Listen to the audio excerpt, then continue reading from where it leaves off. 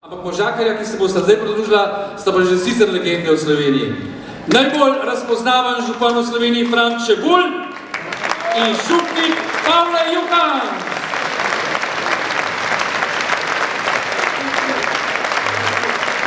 In kvartet, jaz sem jim povedal. Kvartet, jaz sem jim Evo, izvolite. Dobro večer, gospod župan. Pridno boste zapel, se spodobne eno besedo rečete, pa dobro večer. Dobro večer, prijatelj. Se date lahko jakno dol, se noben vzel. Kaj pa niste v Ljubljani? Ja, bi to bil, kjer gospoda se dam dol. Bohlonej, no? Kje imate? Ja, eh, tudi iz strani mene in seveda v imenu občine Cetle vas prav lepo pozdravljam.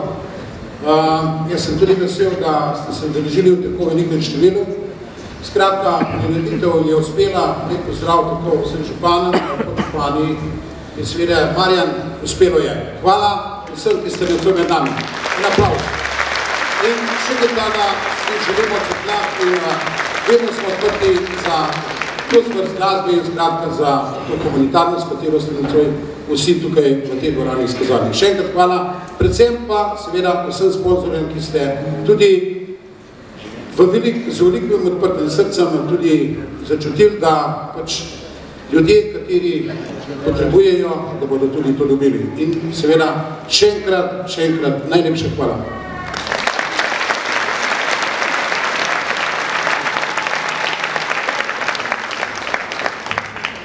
Kaj si rekel, Vinko?